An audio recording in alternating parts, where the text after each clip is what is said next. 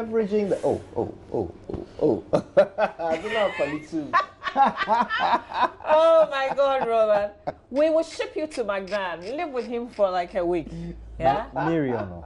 Should we take you to Magnan? Yeah. We can take you to the hot air balloon though. Now, yeah. leveraging the hot air balloon technology could boost Ghana's tourism offerings.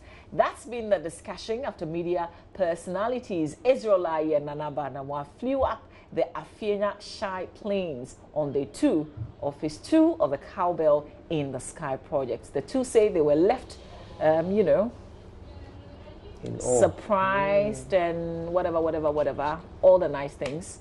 So let's hear from the two and let's hear from Komla Adom as well. Two of the second phase of the Cowbell in the Sky project. We're here on a football field inside Afenya, which is not too far away from the Afenya police station. And the team is expected to fly from here and land at a school, which is not too far from here. Gladly, we have the participants who are going to be flying today, our own Israel Laryea and GH1 TV's Nana Aba Anamoah.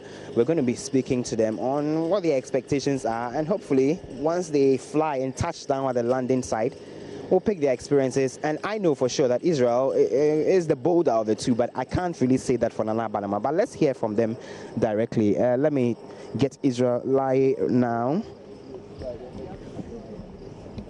Thank you very much, Israel. Hi, Komla. Um, would it be your first time flying yeah. on a hot air balloon? Yeah, yeah, very first time. Okay. I haven't actually come anywhere close to a hot air balloon before. Okay. And what are you have butterflies already? No. I have told them that you are the border of the two between you and Anaba. Um, well, yeah, I, I really don't have much of a problem. I actually, I actually don't think that Nanaba is that scared. I mean, from engaging with her, she's pretty fine. Okay. Yeah, yeah. So, I mean, we're good. Okay. And how, did you get the memo that you're supposed to dress up this way to get here and to do the balloon? No, no, no, no, no, no. I just, I just felt that it's something sporty, and so should just um, wear something like this. But what I'm actually not sure of is whether I should have worn something on top of this because I'm thinking that going up into the sky is going to get cold.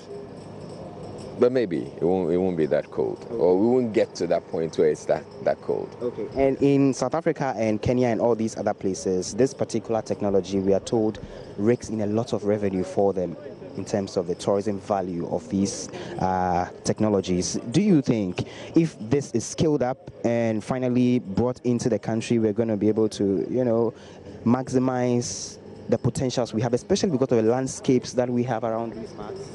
It's, I should think so. I should think so. But more importantly, I think this, um, what I really love about this project that's going on is the fact that we're giving the students an opportunity to experience some of the things they learn in school. So you hear all about hot air balloons and uh, helium and all that, but now you get a practical feel of all that, and I think it actually does help to get the young ones to better appreciate what the kind of things, the science, their thoughts in school. And so that's what I really love about this. But yes, I would also believe that if we could do this thing really well, we could bring in some um, some good money. Okay. Yeah. So right inside, you know, in the background, the balloon is being, you know, inflated. The air is being pumped into the balloon, and in a short while, I'm sure the team will be flying from here. But I've been joined by the second participant, the personality on this flight, Nana Aba Anamoah. Let me just gauge her expectations briefly. This must be your first time on a hot air balloon. Yep. Okay. What are the brief expectations you have? Oh, I want to have fun. I'm here to have a lot of fun. Okay. Yeah. Israel told me that you are not scared at all. Nope, not at all. We shall see when this thing is heated and you get in there. Well, eh. it adds to the thrill, doesn't it? Yeah, it adds to the thrill. Yeah. A lot of people have said that the potential this hot air balloon offers the country's tourism is huge, especially when you look at South Africa and Kenya, how they've been able to maximize it. Is it time for us to thinking about expanding this and then making it such a big deal for us? Well, I'm surprised that Cowbell is doing this all by itself. I've I would have thought that the tourism ministry would partner uh, with them to explore the potentials. Uh, you mentioned other countries, and they're making money out of it. And so, if we want to make tourism number one in the country, and there is a perfect opportunity, Cowbell is footing all the bills, and um, the tourism ministry is not aligned, then I'm quite disappointed. Very much. So you just heard there Nana Aba Anamoah. She's the second uh, participant, the personality who's going to be doing this together with Israel Laryea. So as you can see right there in the picture, they are just trying to show them around inside the balloon. At this point, the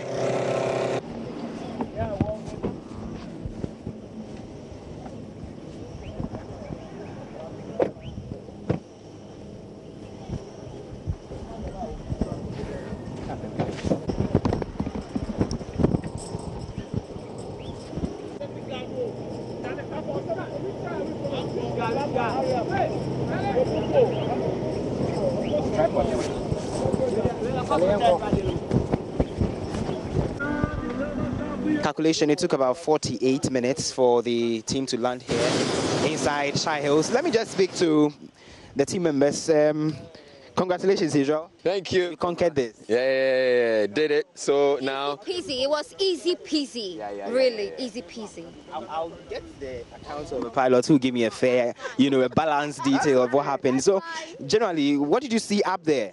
it was it was it was a great view. Uh, we saw a whole lot of the Accra Plains like nobody has ever seen it before. I mean, because this is the first time we're having the hot, air balloon go over the side. So we and we captured some great images which we're going to share. But it was a great view, and we also saw the sunrise again like nobody has ever seen it before so we, we had some really great moments up there and then there were all these quarry sites uh, the Shai Hills you can see them digging up you know the earth and trying to take out the rocks which will be used for construction but the concern is that or my concern is that we're having all of these craters being uh, dug up and I don't know what plan there is to fill them up eventually. Yeah. Your experience?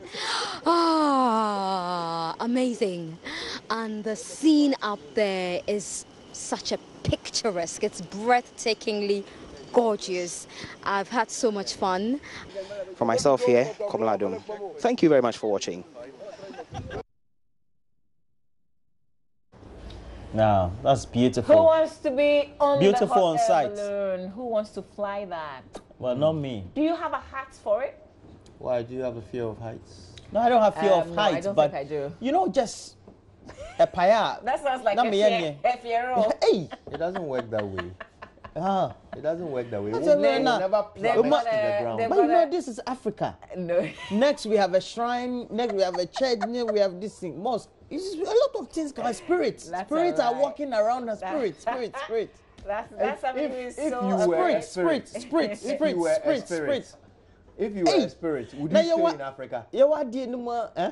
If you were a spirit, Eh? would you stay in I would have Africa? been in Australia. In this economy, this country. Please.